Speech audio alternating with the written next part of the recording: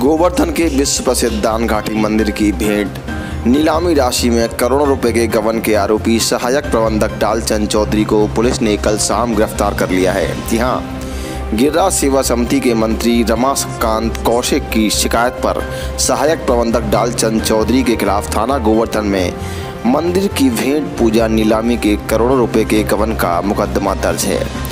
Govardhan police और crime branch की team ने डालचंद चौधरी को उसके घर से गिरफ़्तार कर लिया। ये कर चौदह करोड़ का लगभग घोटाला है। एसडीएम साहब उसी की जाँच कर रहे हैं। हमने एफआईआर दर्ज कराने की मांग की थी कि इन घोटालेबाजों के खिलाफ तत्काल एफआईआर दर्ज की जाए। मानवाधिकार आयोग में हमने भेजा मानवाधिकार आयोग से इनके लिए आया डीएम साहब ने और एसएसपी साहब ने। जाँच कराई है। आप चौथ वसूली को मामला किया है कि चौथ वसूली के लिए पैसे ले मांग रहे हैं वो लोग इसलिए आरोप लगा रहे हैं झूठे। हम हम का ही मांगेंगे? आप हमारे तो बैंक में पैसा जमा करा दो। ठाकुर जी खाते में हम का ही मांगेंगे? हम तो थे भी नहीं हम तो लड़की उन्हें मुक- मुकदमा करा रहे हैं या रिपोर्ट की है उन्होंने? ये सब गलत बात है। ये सौ इस घोटाले को छपाने के लिए ये लोग ऐसे ही अंडरग्राउंड बात करते हैं। दिनों से पैसा बैंक खाते में जमा नहीं है? दो साल से। अच्छा कुल कितनी धनराशि समझो। कम से कम चौदह करोड़ रुपया। चौदह करोड़ जी सर बताएँ गोवर्धन में दाना घाटी मंदिर का क्या प्रकट है?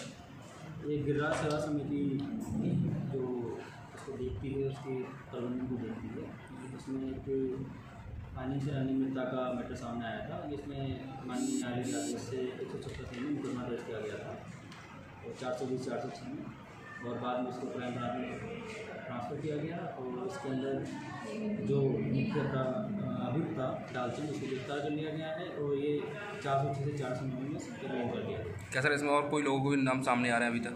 इसमें इन्वेस्टिगेशन चल रहा है अगर बाकी कुछ लोग नाम बाद में आते हैं तो उनकी भी गिरफ्तारी सुनिश्चित की जाएगी। सर शिकायतकर्ता कौन था किसने एफ़ आई आर रमाकांत हाँ रमाकांत गोस्वामी उनका क्या मामला है? गमन का कोई भी मामला नहीं है। ये जो है झूठे आरोप लगाए जा रहे हैं। चौथ वसूली का मामला है। इनको चौथ दे दो तो सारी चीज़ मतलब सही है नहीं तो कुछ भी नहीं है।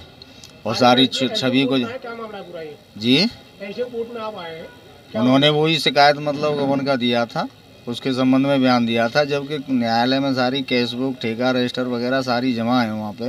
अगर ऐसी कोई बात होती तो न्यायालय उन पर एक्शन ले लेती। छः महीने से उसमें वहाँ जमा है आज तक। अगर कोई कमी होती ठेका रजिस्टर में। आपको नोटिस जारी किया दस करोड़ रुपए का जो है उस पर आप क्या करें? हैं? मानवाधिकार आयोग ने आपको सब ये झूठा है जो नोटिस दिया है वो हमने उसमें जवाब दे दिया। जो दाखिल किया है हमने कोर्ट में न्यायालय को समक्ष प्रस्तुत कर दिया साला उसका। ठेका रजिस्टर भी और कैश बुक भी सारी मतलब जमा है न्यायालय में। ये तो केवल चौथ वसूली करना चाहते हैं छवि को खराब करना चाहते हैं।